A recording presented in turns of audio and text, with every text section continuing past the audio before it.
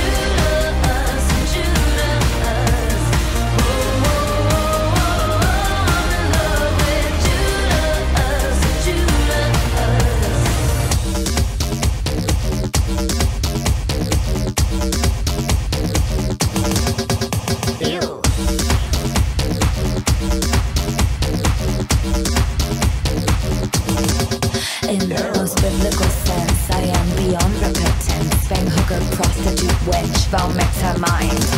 But in the cultural sense I just speak in future tense. Judas is me a offense to where it comes the next time. I wanna love you But something's put